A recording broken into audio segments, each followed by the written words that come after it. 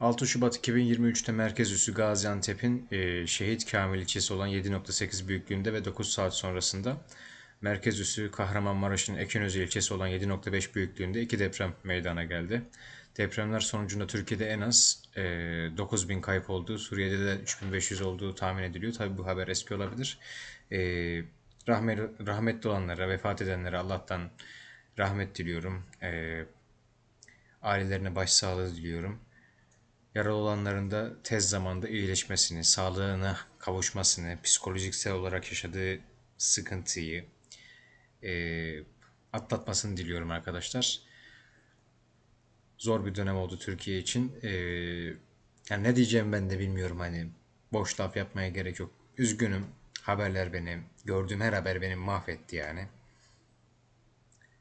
Ondan sonra e, şunu size söyleyeyim. Zaten %95'iniz biliyorsunuzdur bunu. E, destek vermek istiyorsanız eğer AFA'da e, büyük harflerle deprem yazarak 1866'ya göndererek SMS göndererek 20 Türk Lirası bağış yapabilirsiniz. E, bunu zaten çoğunuz biliyorsunuz ama olur ya bilmeyen olur ve yahut ben yapacaktım unuttum. Aa senin videonu gördüm hatırladım diyerekten yapabilirsiniz.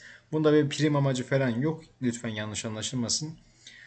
E, Allah o bölgede yaşayan insanlara tez zamanda şifalarını versin. E, kurtarma ekiplerimize güç versin.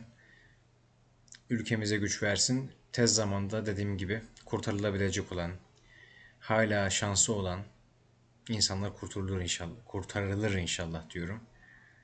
Yani pek de konuşamıyorum bu durum hakkında. Diyeceklerim bu kadar. İzlediğiniz için ve bunu anladığınız için eyvallah diyorum. Görüşürüz.